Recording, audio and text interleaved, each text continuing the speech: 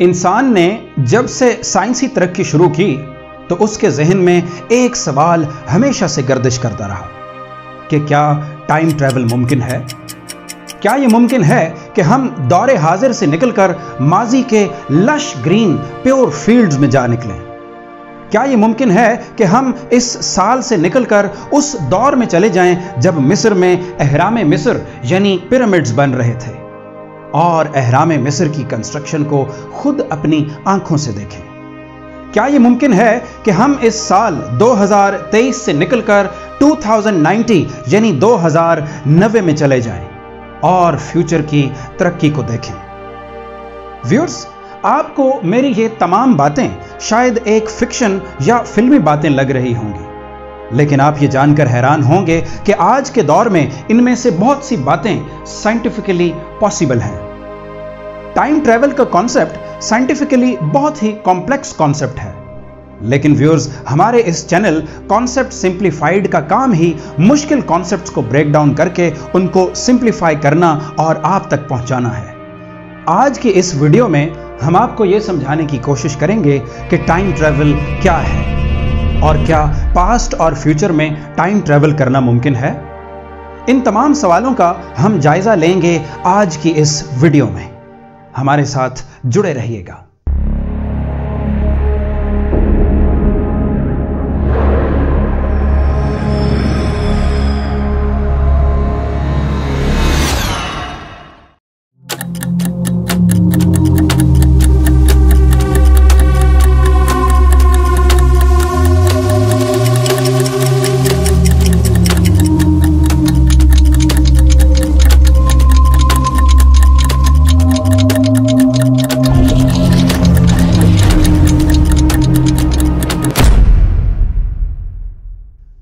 Time travel को समझने से पहले हम समझते हैं टाइम को। टाइम एक ऐसी डायमेंशन है जिसमें मुख्तलिफ़ इवेंट्स प्रोग्रेस करते हैं। इंसान ने अपने एक्सपीरियंस की बिना पर टाइम को तीन हिस्सों में डिवाइड किया है पास्ट प्रेजेंट और फ्यूचर ये तो थी टाइम की एक सादा सी एक्सप्लेनेशन अब हम जरा इसी टाइम को साइंस की नज़र से देखने की कोशिश करते हैं। साइंस के मुताबिक, टाइम एक ऐसी फंडामेंटल क्वांटिटी है जो यूनिवर्स में स्पेस के साथ साथ मौजूद है। सादा अल्फाज में, हमारी पूरी कायनात में जो भी स्पेस मौजूद है, उसके साथ साथ टाइम भी मौजूद है। क्योंकि हमारी इस कायनात में मौजूद तमाम की तमाम स्पेस और उसमें मौजूद सारे के सारे इवेंट्स दरअसल एक टाइम के साथ प्रोग्रेस कर रहे हैं। यानी हम टाइम को स्पेस से और स्पेस को टाइम से अलग नहीं कर सकते। यही वजह है कि आइंस्टाइन ने अपनी थ्योरी ऑफ़ रिलेटिविटी में स्पेस और टाइम को अलग अलग लिखने की बजाय एक ही टर्म स्पेस टाइम का इस्तेमाल किया है। अगर आपको मेरी video series the extensive story of mankind की पहली एपिसोड याद हो, जिसका लिंक आपको ऊपर के आई बटन में मिल जाएगा तो मैंने आपको यह बताया था कि कायनात के वजूद से पहले और बिग बैंग से पहले हर चीज़ एक छोटे से नुक्ते में समाई हुई थी, जिसे साइंसदान सिंगुलैरिटी कहते हैं। इस सिंगुलैरिटी में मैटर एनर्जी टाइम और स्पेस सब कुछ समाया हुआ था। तो व्यूअर्स जब बिग बैंग का धमाका हुआ तो उस धमाके के साथ ही मैटर टाइम एनर्जी और स्पेस हर चीज़ रिलीज़ होने लगी। यानी उस बिग बैंग से पहले टाइम और स्पेस दोनों फ्रोजन थे। जैसे ही एक धमाके के साथ बिग बैंग हुआ तो टाइम और स्पेस दोनों प्रोग्रेस करने लगे। तो व्यूअर्स अब मैं ये उम्मीद करता हूँ कि आपको टाइम का ये कॉन्सेप्ट बहुत वाजे तरीके से समझ आ चुका होगा। तो अब हम चलते हैं वापस उसी टॉपिक टाइम ट्रैवल की तरफ़, जिसका आप इंतज़ार कर रहे हैं। टाइम ट्रैवल को समझने से पहले हमें आइंस्टाइन की थ्योरी ऑफ़ रिलेटिविटी को आसान अल्फाज में समझना होगा, क्योंकि टाइम ट्रैवल की बेस ही दरअसल आइंस्टाइन की थ्योरी ऑफ़ रिलेटिविटी है। यह समझने के लिए आपको मेरी तमाम बातों को बहुत ही गौर से सुनना होगा, क्योंकि आइंस्टाइन की थ्योरी ऑफ़ रिलेटिविटी की मैथमेटिकल कॉम्प्लेक्सिटी और उसकी डेरिवेशन बहुत ही मुश्किल है। लेकिन हम आइंस्टाइन की थ्योरी ऑफ़ रिलेटिविटी की मैथमेटिकल कॉम्प्लेक्सिटी में नहीं जाएँगे। हम ये कोशिश करेंगे कि आइंस्टाइन की थ्योरी ऑफ़ रिलेटिविटी को बहुत ही आसान अल्फाज में ब्रेक डाउन करके आपको समझाने की कोशिश करें। आइंस्टाइन के मुताबिक टाइम कांस्टेंट नहीं, बल्कि रिलेटिव है। यानी अब हमारी ज़मीन पर अगर एक घंटा गुजरता है तो पूरी कायनात में कोई ऐसी भी जगह होगी जहाँ ज़मीन का एक घंटा वहाँ के सिर्फ़ एक मिनट के बराबर होगा। और व्यूज़ ये तमाम बातें मैं कोई खुद से नहीं घड़ रहा, बल्कि ये सारी की सारी बातें साइंटिफिकली प्रूवन हैं। आइंस्टाइन से पहले न्यूटन का यह मानना था कि टाइम कांस्टेंट है, यानी टाइम ज़मीन समेत पूरी कायनात में एक ही जैसे बिहेव करता है। लेकिन आइंस्टाइन ने अपनी थ्योरी ऑफ़ रिलेटिविटी को प्रेजेंट करके न्यूटन को गलत साबित कर दिया। क्योंकि आइंस्टाइन के मुताबिक टाइम कांस्टेंट नहीं, बल्कि रिलेटिव है। आइंस्टाइन के मुताबिक टाइम कायनात में एक नदी की तरह बिहेव करता है। यानी ये कायनात के कुछ हिस्सों में कहीं फास्ट तो कहीं स्लो डाउन हो जाता है। यानी टेक्निकली अब इस टाइम को स्लो डाउन और स्पीड अप भी किया जा सकता है। और व्यूअर्स इसी कॉन्सेप्ट को टाइम डायलेशन कहते हैं। आइंस्टाइन की थ्योरी ऑफ़ रिलेटिविटी को दो हिस्सों में तकसीम किया गया है। जनरल थ्योरी ऑफ़ रिलेटिविटी और special theory of relativity special theory of relativity के मुताबिक हाई स्पीड पे टाइम स्लो डाउन हो जाता है। यानी higher the speed slower the time और व्यूअर्स स्पीड की वजह से होने वाली इस टाइम डायलेशन को काइनेमेटिक टाइम डायलेशन कहते हैं। लेकिन व्यूअर्स, यहाँ पे आपको एक बहुत ही टेक्निकल पॉइंट समझना होगा। वो ये कि ये स्लो टाइम दरअसल रिलेटिव है। यानी ये स्लो टाइम उस शख्स के लिए स्लो नहीं, जो उस हाई स्पीड के ऊपर ट्रेवल कर रहा है, बल्कि उन लोगों के लिए स्लो होगा जो उसको ऑब्ज़र्व कर रहे हैं। दूसरे अल्फाज में time appears to pass differently for objects in motion relative to each other इसका मतलब यह हुआ कि ऑब्जर्वर्स की रिलेटिव मोशन पर डिपेंड करते हुए टाइम स्पीड अप या स्लो डाउन हो सकता है। तो व्यूअर्स अब हम टाइम डायलेशन के कॉन्सेप्ट को एक साइंटिफिकली प्रूवन एक्सपेरिमेंट की नज़र में समझते हैं। 1971 में एक एक्सपेरिमेंट किया गया, जिसे हैफल कीटिंग एक्सपेरिमेंट कहा जाता है। यह एक्सपेरिमेंट आइंस्टाइन की थ्योरी ऑफ़ रिलेटिविटी को टेस्ट करने के लिए किया गया था। कि क्या वाकई हाई स्पीड्स पे टाइम डायलेट होता है, या फिर आइंस्टाइन ने हमें एक बेकार इक्वेशन दी? और व्यूअर्स आप ये जानकर हैरान होंगे कि इस एक्सपेरिमेंट ने आइंस्टाइन को बिल्कुल सच साबित कर दिया था। इस एक्सपेरिमेंट में एटॉमिक क्लॉक्स का इस्तेमाल किया गया। एटॉमिक क्लॉक्स टाइम को बहुत ही प्रिसाइज वे में एग्जैक्टली कैलकुलेट करते हैं। तो व्यूअर्स इस एक्सपेरिमेंट में दो एटॉमिक क्लॉक्स को दो प्लेन्स पर रखा गया और वो दोनों प्लेन्स ज़मीन के गिर्द अपोजिट डायरेक्शन में उड़ने लगे। जबकि एक क्लॉक को नीचे ज़मीन पर यूएस नेवल ऑब्जर्वेटरी में रखा गया। जब वो दोनों प्लेन्स अपनी फ़्लाइट मुकम्मल करके आए तो ये देखा गया कि उन प्लेन्स में मौजूद दो घड़ियों के टाइम में और ज़मीन पे मौजूद घड़ी के टाइम में कुछ ना कुछ फ़र्क था। प्लेन्स में मौजूद घड़ियों का टाइम दरअसल स्लो डाउन हो चुका था, क्योंकि स्पीड की वजह से टाइम डायलेशन हो चुकी थी। तो व्यूअर्स इस एक्सपेरिमेंट के रिजल्ट्स ने दुनिया को चौंका दिया और आइंस्टाइन को बिल्कुल सही साबित कर दिया। अब ये बात साइंटिफिकली प्रूवन है कि अगर इंसान स्पीड को बहुत ज़्यादा बढ़ा दे तो टाइम को स्लो डाउन किया जा सकता है।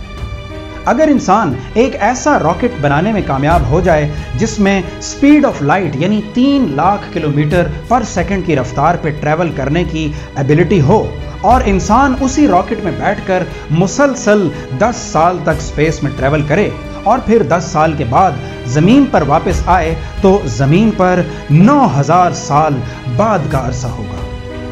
व्यूअर्स, ये बहुत ही चौंका देने वाली बात है। लेकिन this is how science works सादा अल्फाज में, जो शख्स मुसलसल इस स्पीड पर स्पेस में ट्रेवल करता रहे तो उसके लिए टेक्निकली ज़मीन का वो टाइम बहुत ही फास्ट हो जाएगा, क्योंकि उसके अपने लिए वो टाइम बहुत ही स्लो हो चुका होगा। तो व्यूअर्स अब अगर आप और मैं ये चाहें कि हम आज से ज़मीन के 2250 साल के बाद वाले फ्यूचर में ट्रेवल करें तो ये साइंटिफिकली आज भी मुमकिन है। वो ऐसे कि हमें एक ऐसे रॉकेट में बैठना होगा जिसमें स्पीड ऑफ़ लाइट पर ट्रेवल करने की एबिलिटी हो। और उस रॉकेट में बैठ के हमें सिर्फ़ ढाई साल का अरसा स्पेस में गुजारना होगा। तो व्यूअर्स जब हम ढाई साल का अरसा गुजार कर वापस ज़मीन पर आएँगे तो ज़मीन पर 2250 साल के बाद वाला अरसा होगा। टाइम डायलेशन के इस कॉन्सेप्ट को हॉलीवुड की बहुत सी मूवीज़ में बहुत ही साइंटिफिक वेज में दिखाया गया है। इन हॉलीवुड मूवीज़ में शुमार हैं इंटरस्टेलर प्री डेस्टिनेशन और द टाइम मशीन व्यूअर्स यहाँ पे आप ज़रूर ये सोच रहे होंगे कि क्या ऐसा मुमकिन है कि हम एक ऐसा रॉकेट बना पाएँ जिसमें स्पीड ऑफ़ लाइट पे ट्रैवल करने की एबिलिटी हो।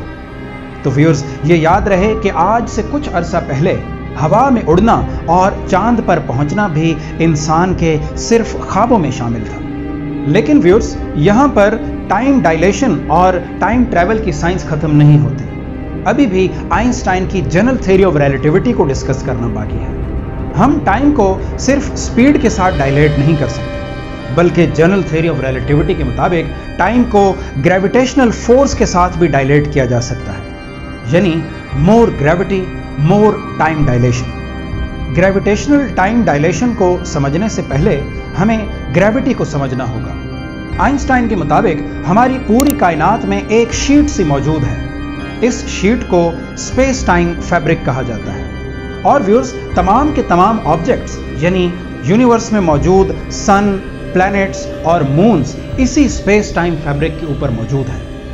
अब व्यूर्स चूँकि ये ऑब्जेक्ट्स जैसा कि सन प्लैनेट्स और मून इस स्पेस टाइम फैब्रिक के ऊपर मुख्तलिफ़ मैसेज होने की वजह से मुख्तलिफ़ किस्म का प्रेशर एग्जर्ट करते हैं तो कोई भी ऑब्जेक्ट जितना ज़्यादा हैवी होगा, इस स्पेस टाइम फैब्रिक को उतना ही ज़्यादा बेंड करेगा। और व्यूअर्स आप जानते हैं कि हमारे सोलर सिस्टम में हैवीएस्ट ऑब्जेक्ट सन है।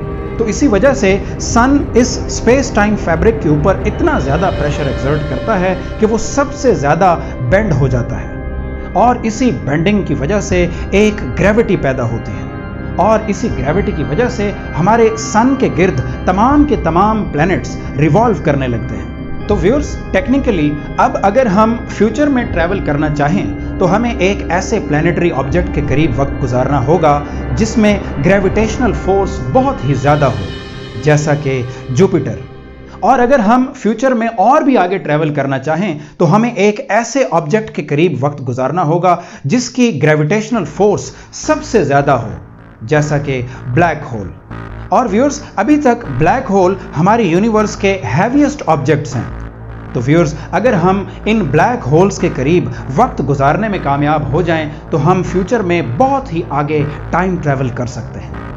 इस बात को बहुत ही साइंटिफिक वे में फिल्माया गया है हॉलीवुड की एक मशहूर मूवी इंटरस्टेलर में। इंटरस्टेलर में यह दिखाया गया है कि कूपर जो कि इस मूवी का एक कैरेक्टर है ब्लैक होल के करीब कुछ वक्त गुजारने में कामयाब होता है।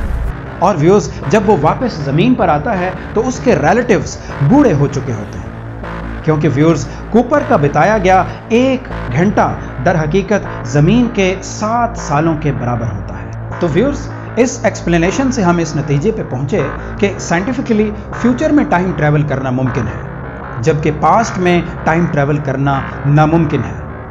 क्योंकि हम पूरी दुनिया के टाइम को सिर्फ़ अपने लिए रिवर्स नहीं कर सकते। और व्यूअर्स पास में टाइम ट्रैवल करने पर बहुत से पैराडॉक्सेस भी जन्म लेते हैं, जैसा कि grandfather paradox grandfather paradox के मुताबिक, अगर एक शख्स पास में टाइम ट्रैवल करता है और जाकर अपने ग्रैंड फादर का कत्ल कर देता है तो फिर उसका अपना जन्म कैसे हुआ? तो व्यूअर्स इस तरह के पैराडॉक्सेस की वजह से अभी तक पास्ट में टाइम ट्रैवल करना मुमकिन नहीं। लेकिन व्यूअर्स यहाँ पे हम आपको बहुत ही इंटरेस्टिंग फैक्ट बताते चले। वो ये कि अभी तक पास्ट में टाइम ट्रैवल करना मुमकिन नहीं, लेकिन पास्ट में एक झलक देखना मुमकिन ज़रूर है। वो ऐसे कि हमें जो कुछ भी नज़र आता है, यानी हमारा विजन दरअसल लाइट की वजह से है। यानी नो लाइट नो विजन हमारी आँखें जिस चीज़ को भी देखती हैं, वो दरअसल रिफ्लेक्टेड लाइट होती है। और व्यूअर्स आप ये भी जानते हैं कि लाइट की एक स्पीड भी है। तो व्यूअर्स अब सूरज से आने वाली रोशनी हमारी ज़मीन तक पहुँचने में सात से आठ मिनट लेती है। यानी हम टेक्निकली जब सूरज की तरफ़ देखते हैं तो हम सूरज के पास्ट में देख रहे हैं। यानी सात से आठ मिनट पुराना सूरज हमें नज़र आता है। व्यूअर्स इसी लॉजिक को मद्देनजर रखते हुए साइंटिस्ट के मुताबिक, अगर कोई एलियंस हमारी ज़मीन से 65 मिलियन लाइट ईयर्स की दूरी पर मौजूद हों और उनके पास ऐसे हैवी टेलीस्कोप्स मौजूद हों कि वो हमारी ज़मीन की सरफेस के ऊपर देख सकें तो उन्हें आज भी हमारी ज़मीन पर डायनासोर्स नज़र आएँगे। क्योंकि 65 मिलियन ईयर्स पहले हमारी ज़मीन पर डायनासोर्स मौजूद थे, जिनकी रिफ्लेक्टेड लाइट उनको आज नज़र आएगी। तो व्यूअर्स अब हम आज के इस टॉपिक टाइम ट्रैवल के इख्तिताम पर पहुँचे। टाइम ट्रैवल के बाद इस दुनिया से दूसरी दुनिया या यूनिवर्स में ट्रैवल करने के लिए साइंस में एक बहुत ही इंटरेस्टिंग कॉन्सेप्ट मौजूद है। इस कॉन्सेप्ट को वर्म होल्स कहा जाता है। वर्म होल्स इस दुनिया से दूसरी दुनिया में ट्रैवल करने के लिए शॉर्टकट्स हैं। लेकिन व्यूअर्स वर्म होल्स को आज हम इस वीडियो में कवर नहीं कर पाएँगे। अगर आप ये चाहते हैं कि हम पैरेलल यूनिवर्सेस और वर्म होल्स जैसे इंटरेस्टिंग कॉन्सेप्ट्स को एक और वीडियो में कवर करें तो हमें कमेंट सेक्शन में ज़रूर बताइएगा। अगर आप हमारे इस चैनल पर नए हैं तो हमारे इस चैनल को सब्सक्राइब करना और नोटिफिकेशंस को ऑन करना मत भूलिएगा, क्योंकि हम ऐसी ही इंटरेस्टिंग वीडियोस और डिटेल्ड एनालिसिस आप तक पहुंचाते हैं। अगर आपने अभी तक मेरी video series the extensive story of mankind नहीं सुनी तो उसको सुनने के लिए यहाँ क्लिक करें।